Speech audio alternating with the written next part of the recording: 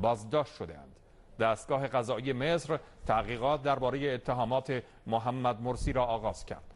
دادستانی مصر محمد بدی رهبر و خیرت شاطر معاون جنبش اخوان المسلمین را به تشویق برای قتل تظاهر کنندگان متهم کرده است. نیروهای امنیتی اعضای بازداشت شده اخوان المسلمین را به زندان تره محل بازداشتگاه کنونی حسنی مبارک منتقل کردند. از سوی دیگر دادگاه کیفری مصر حکم زندان هشام قندیل نخست وزیر دوره مرسی را هم صادر کرد. حزب آزادی و عدالت وابسته به جنبش اخوان المسلمین مصر با صدور بیانیه‌ای بر مقاومت در برابر کودتای نظامی ارتش در این کشور تأکید کرد.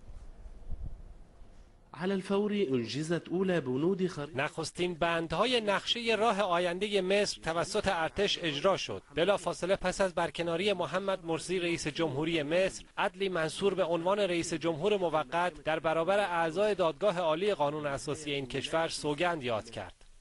اقسم بالله العظیم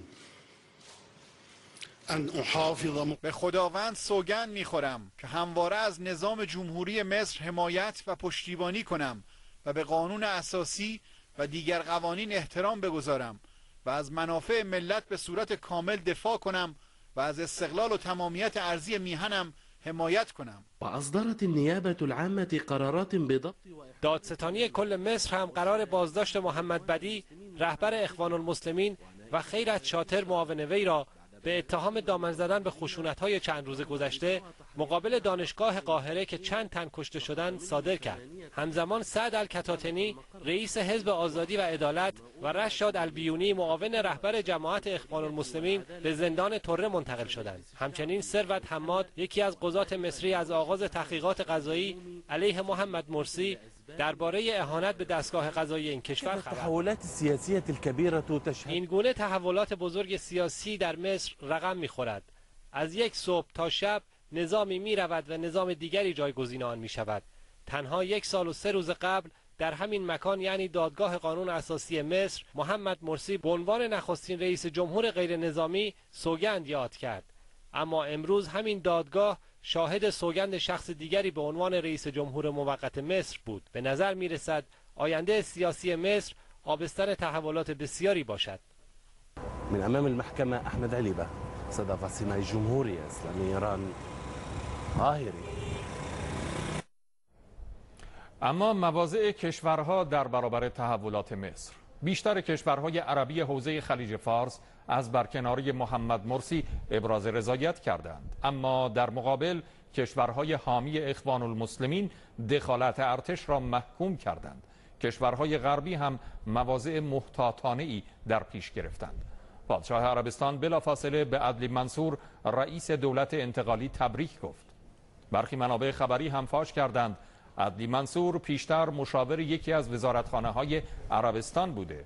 اردن، سوریه، کویت، بحرین و امارات عربی متحده هم از برکناری مرسی حمایت کردند. قطر که از حامیان اصلی مرسی در مصر بود ابتدا در بیانیه‌ای با عبارت کلی تأکید کرد همواره حامی مصر خواهد بود.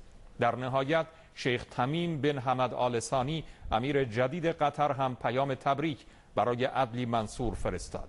دولت ترکیه مواضع سریحتری اتخاذ و اعلام کرد. اقدام ارتش در برکناری مرسی کودتا و غیر قابل قبول است. سخنگوی وزارت امور خارجه کشورمان هم گفت ایران به خواست ملت هوشمند و متمدن مصر احترام می‌گذارد. باراک اوباما پس از نشست با مقامات عالی رتبه نظامی و سیاسی از نهادهای مرتبط خواست پیامدهای برکناری مرسی و ادامه کمک به این کشور را بررسی کنند. وزیران خارجه انگلیس و روسیه خواستار خیشتنداری همه طرفها در مصر شدند. کاترین اشتون مسئول سیاست خارجی اتحادیه اروپایی نیز فقط برگزاری انتخابات را خواستار شد. نتانیاهو نخست وزیر اسرائیل گفت به دقت تحولات مصر را زیر نظر دارد. بانکیمون دبیر کل سازمان ملل هم از ارتش خواست سریعتر حکومت را به غیر نظامیان منتقل کند. گفتگو می‌کنم با خانم منتظری خبرنگار واحد مرکزی خبر در مصر. خانم منتظری سلام. ظاهرا اوضاع شهرهای مصر نشون میده که برخلاف روزهای گذشته امروز حادثه خاصی اتفاق نیفتاده و اوضاع کم کم رو به آرامش پیش میره. درسته؟ به نام خدا سلام بله تقریبا امروز اکثر